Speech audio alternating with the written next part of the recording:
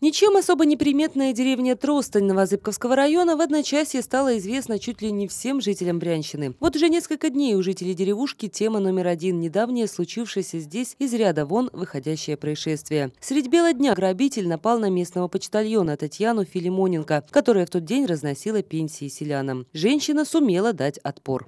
Ну, вот здесь я проезжала по этой стороне. Откуда он или оттуда, или оттуда он выскочил, я не знаю. Я уже почувствовала на себе удар в спину.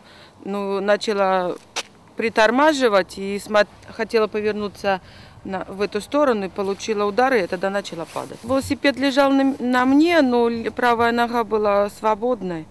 И я так, я не знаю, это чисто случайно или может это удача такая была. Я его ударила по лицу. Немножко задралась маска.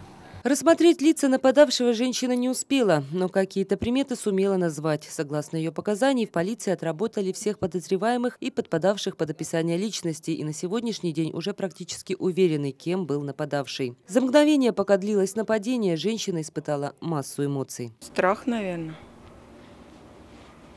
Да. Волнение. Я просто боялась, что их будет больше, а он оказался один. В тот день Татьяна не успела выдать пенсии ни одному из ее подопечных. Деньги доносил другой почтальон. Но ведь было же что доносить, и все получили пенсии вовремя. Местные пенсионеры отзываются о Татьяне Филимоненко с большим уважением. Хорошая. Угу. Привлекательная, всегда вовремя носит. Говорят, когда узнали, что произошло, были шокированы. Конечно, испугались. Одна вот живу, угу. да и тоже боюсь. Было тихо. А что за горе такое случилось? Не знаю. Испугались за Татьяну и дома, переживал муж и две ее дочки 8 и 12 лет. Расспрашивали, как что. Что я им отвечу? Говорю, дралась с дядей, да и все. Теперь для местных жителей Татьяна Филимоненко настоящая героиня. Сама Татьяна не считает свой поступок геройским. В отделе почтовой связи Замишева работает уже 6 лет и раньше как-то не задумывалась, насколько опасна ее профессия. Нет, я не считаю это геройским, просто это чисто случайность, удача, можно так сказать.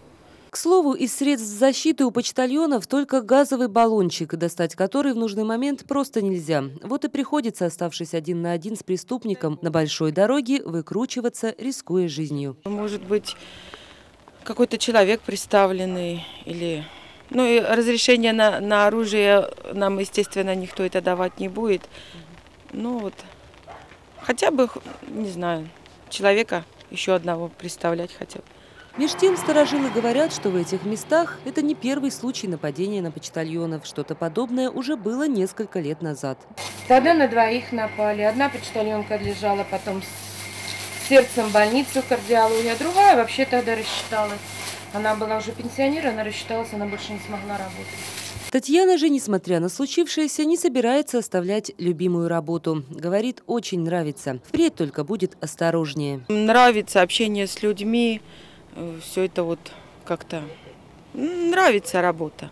А ждут вот? Ждут, ждут как Бога, когда приходишь, улыбаются, хотят и накормить, и напоить. Как Бога ждут Татьяну почти 200 человек. Ежедневно она проходит и проезжает по 14 километров. Пообщавшись со съемочной группой новозыбковского телевидения, Татьяна села все на тот же велосипед, взяла сумку и отправилась по знакомым адресам. Она знает, ее ждут. А старики и старушки, безусловно, еще не раз скажут почтальону спасибо. Светлана Бухарова, Андрей Кириченко, Новозыбковский район.